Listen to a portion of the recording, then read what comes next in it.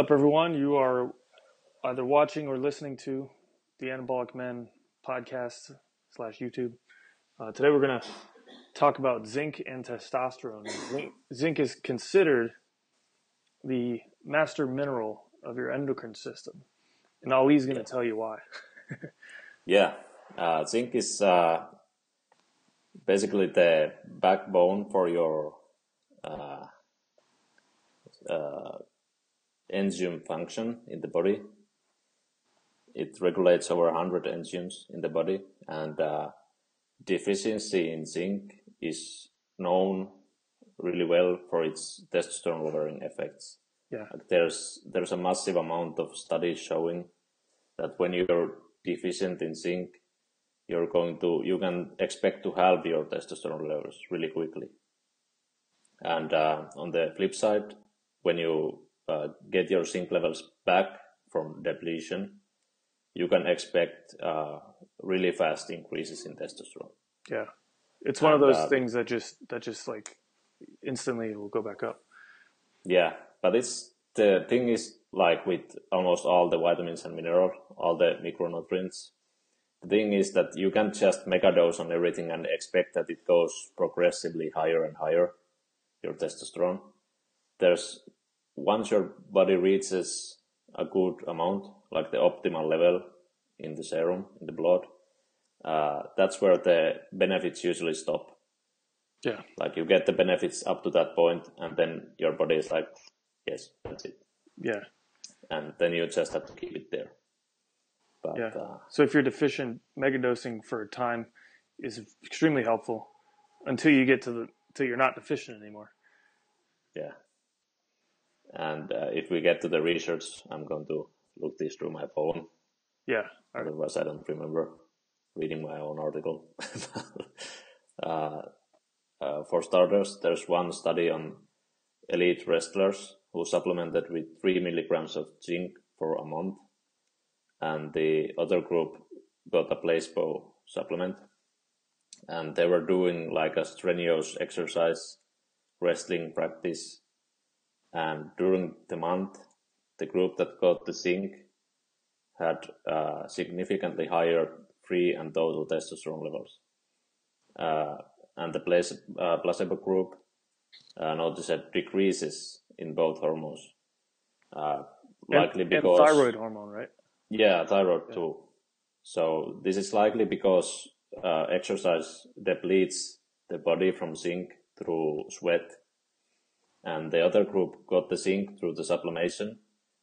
And their level stayed at a good point but the other group probably got uh, depleted and uh, had uh, eventually a deficiency.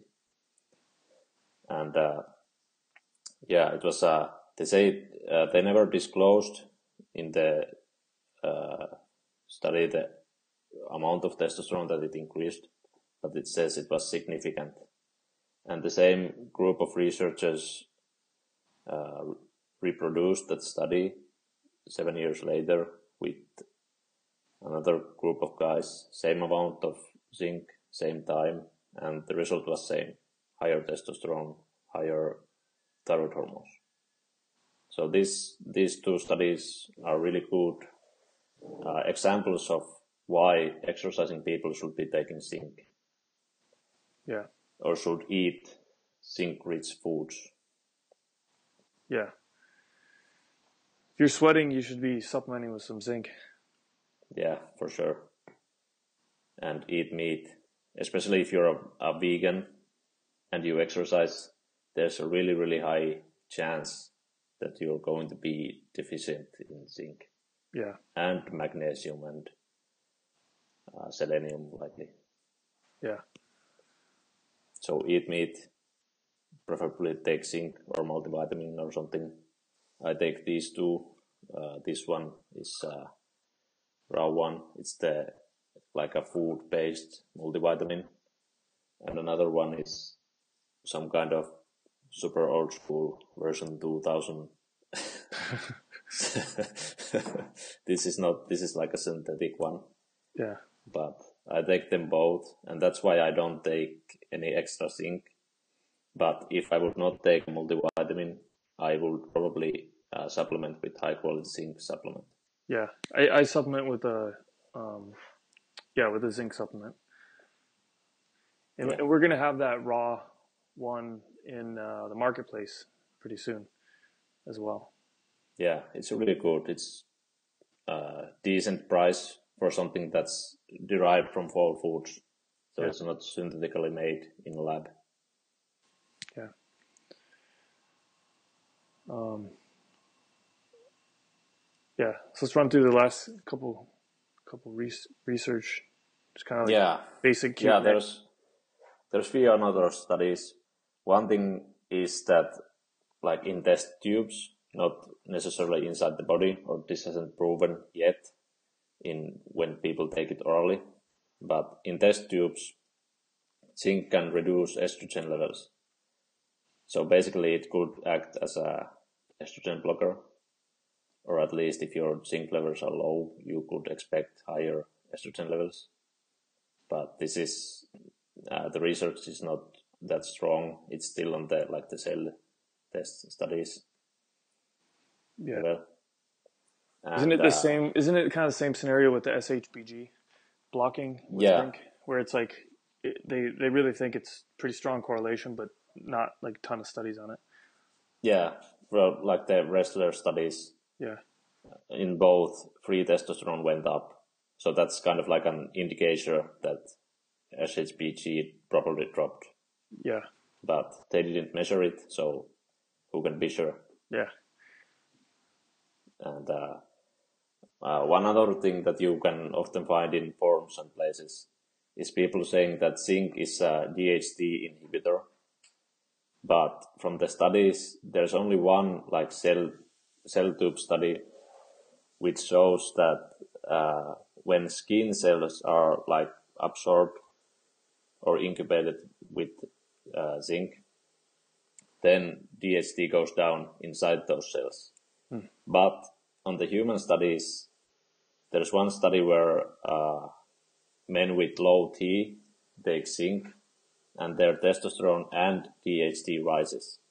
And another group with higher testosterone levels, they don't see increases in testosterone, but they still see increases in DHT. yeah, So if you ran into those claims about zinc lowering DHT, it's likely that someone has seen the cell study, but has not seen the ones which are much more powerful studies.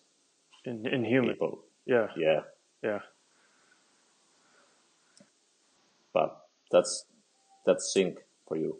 yeah. So how much how much zinc should someone take if they're just on a uh, let's say like the difference between say they're deficient, how much zinc should they take versus if they uh, just want to take it on a daily basis if they're not deficient. Yeah, I think uh, the recommendations have a really wide range, but at least 100 milligrams a day has been proven to be safe to take. And on one study, uh, they had really severely depleted guys from zinc, and they used 250 milligrams for six months to saturate the serum levels. So it seems to be safe to take really high doses, even though some say that 70 milligrams is too much.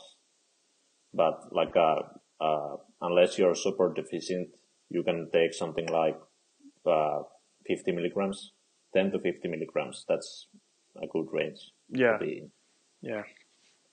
It's pretty simple. I think aren't most capsules are in like 10 milligram capsules. Yeah, Yeah. 10, 15, 30 Yeah. sometimes.